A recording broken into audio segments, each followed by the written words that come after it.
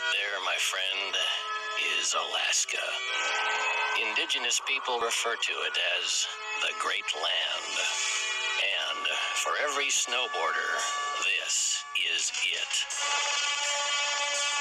Great indeed.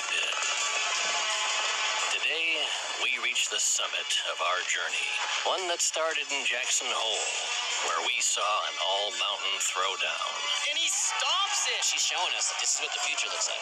We followed winter north along the Rocky Mountain Range and west of the Monashees to Baldface Valhalla, where we got to see what it takes to explore these lands. Yeah, Robin! It all went well.